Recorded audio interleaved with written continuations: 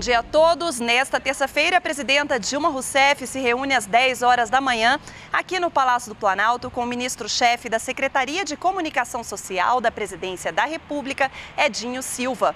Às 15 horas, a presidenta recebe o ministro do, da, da Ciência, Tecnologia e Inovação, Aldo Rebelo. Às 17 horas, ela recebe o ministro do Planejamento, Orçamento e Gestão, Nelson Barbosa.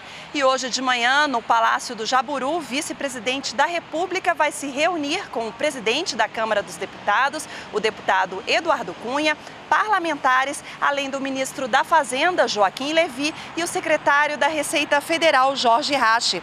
Às 10 horas, Michel Temer vai se reunir no gabinete dele, aqui no Palácio do Planalto, com líderes e vice-líderes da base aliada na Câmara dos Deputados.